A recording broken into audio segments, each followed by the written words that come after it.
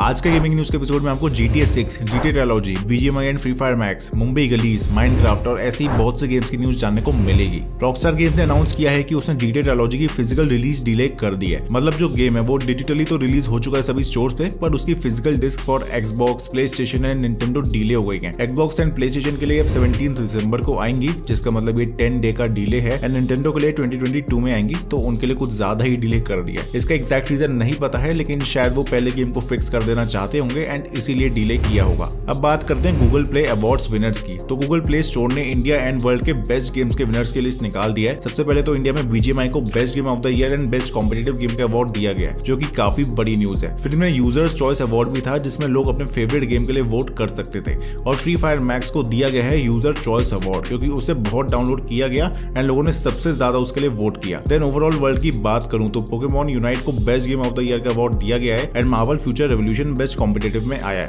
Honourable mention की बात की जाए तो Crash Bandicoot on the run and my friend Pedro indie games की लिस्ट में है। फिर एक बहुत बड़ा अपडेट आ गया है GTA trilogy the definitive edition के लिए, जिसमें सौ यो बग्स एंड ग्लिचेस को फिक्स किया गया जैसे कि वो जो खतरनाक रेन थी, उसे भी फिक्स कर दिया है। बहुत जगह स्पेलिंग मिस्टेक्स थी गेम में, वो सही कर दी है। सैन एंडियास में टेक्सचर्स की प्रॉब्लम सही हो गई है एंड अब इंडोर्स में भी बारिश नहीं होती। पहले अगर आप किसी ऊँची जगह पे होते थे तो पूरा मैप दिखता था एक बार में, जो कि बहुत फेक लगता था। तो अब डेंस फॉग डाल दिया गेम में, ताकि वो थोड़ा सा बड़ा लगे एंड रियलिस्टिक भी लगे। फिर जीटे का जो सिनेमेटिक कैमरा एंगल है, वो भी आ गया एंड मेन्यू में एम करते वक्त वो व्हाइट आउटलाइन जो आती है, उसे हटाने का ऑप्शन भी आ गया। है सैन एंडियास में जब आप पहली बार कटिंग के लिए जाते थे तो वहाँ ओल्ड डीस मिलता था। पहले उसे बहुत ही ज़्यादा यंग दिखा दिया था, जो कि एक गलती थी एंड अब उसे भी फिक्स कर दिया गया है, जो गेम का मेन्यू है, उस पर साउंड इफेक्ट्स थे, वो भी ठीक हो गए एंड अब हर गेम के अपने आ गए हैं। तो अब काफ़ी बेटर हो गया है गेम एंड मोस्ट प्रोबेबली बहुत जल्दी पूरी तरह फिक्स भी हो जाएगा। बस अगर ये पहली बार में अच्छे से गेम रिलीज़ कर देते तो इनका क्या जाता?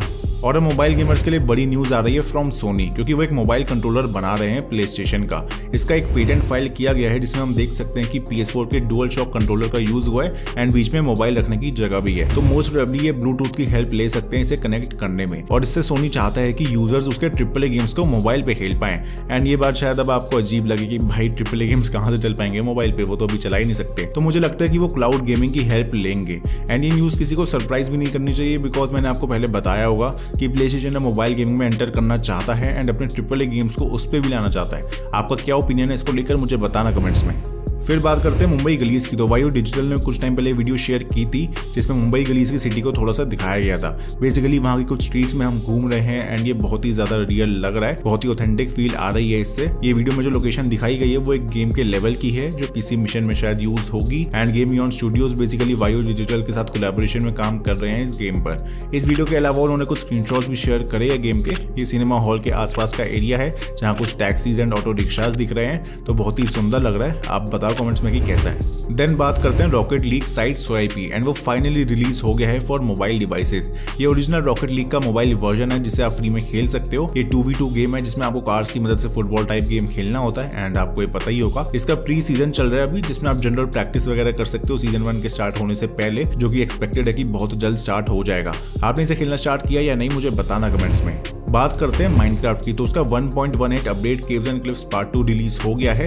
इसमें बहुत सारे चेंजेस हुए हैं लाइक माउंटेन्स बहुत सारे आ गए हैं lush caves and dripstone caves biome आ गए हैं, नई म्यूज़िक डिस्क आई है मॉब्स एंड और डिस्ट्रीब्यूशन में चेंजेस एंड बहुत कुछ है।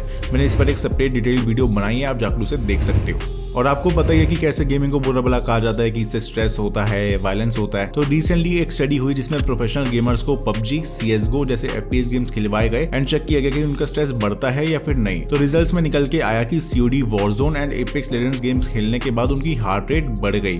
पर सीएसगो एंड पबजी के बाद उनकी हार्ट रेट कम हुई थी। और जो चीज़ सब में कॉमन थी वो ये है कि सभी गेम्स खेलने के बाद गेमर्स का स्ट्रेस लेवल कम हुआ था, ना कि बढ़ा था। तो इसलिए जो लोग कहते हैं ना कि भाई गेम्स खेलने के बाद स्ट्रेस बढ़ जाता है, वो कुछ भी नहीं है, वो शायद सही नहीं है। और हाँ इसका मतलब ये भी नहीं है कि आप पूरे पूरे दिन गेम खेलो, रोज रोज ऐसे पूरे पूरे दिन लगे रहो। बस थोड़ा सा ही खेलना चाहिए, अगर आप एक प्रोफेशनल प्लेयर नहीं हो तो। अब रॉकस्टार गेम से को फाउंडर जेमी किंग के साथ एक इंटरव्यू लिया गया जिसमें उन्होंने जी टी की बात करी।